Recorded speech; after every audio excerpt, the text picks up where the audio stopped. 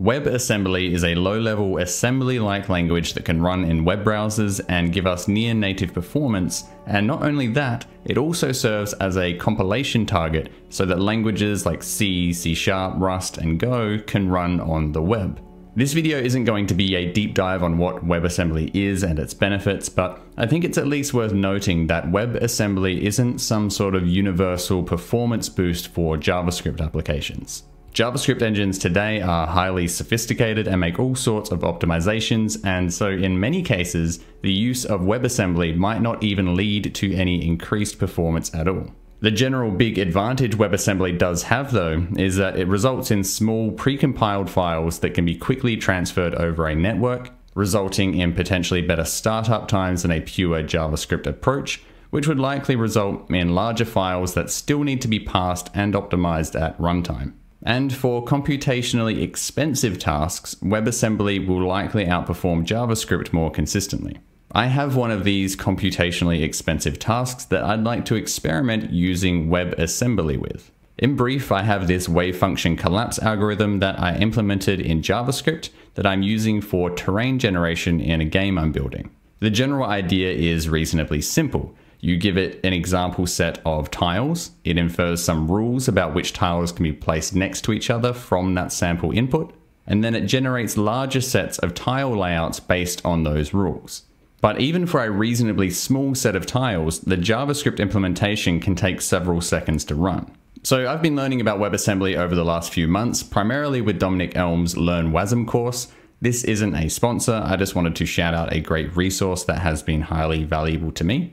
I've been learning the WebAssembly text format, which is essentially a way to directly write assembly-like code for the stack-based virtual machine that powers WebAssembly.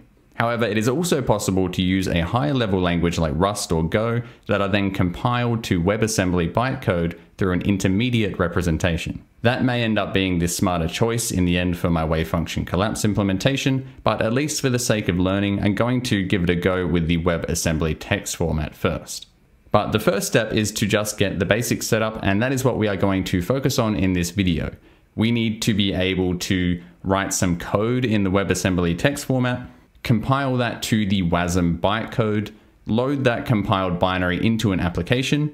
I'm going to be using Angular here, but the general approach will be the same regardless. And then call exported functions from that WASM binary from our JavaScript code. This is an extremely basic implementation of a module that exports a single function using the WebAssembly text format. Now we need to compile it into the WebAssembly bytecode, and to do that we can use the WebAssembly binary toolkit. Specifically, we'll be using the wat2wasm command. You can follow the instructions in the repo to set up the toolkit on your machine. And then you can run the wat2wasm command on your WebAssembly text format file.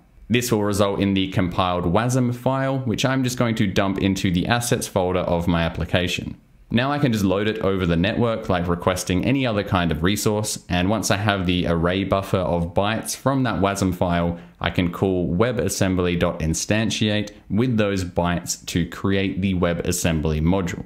And now I can call any of the exported functions from that module in my JavaScript application. Whatever is happening inside of that function is going to be happening using WebAssembly, and then we get the result delivered to our JavaScript application. So that's the basic idea. Now I just need to figure out how to convert all of this into an assembly-like language.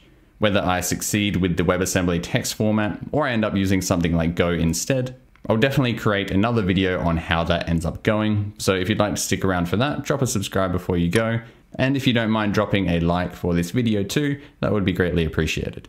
Thanks for watching, and I hope to see you back here for the next one.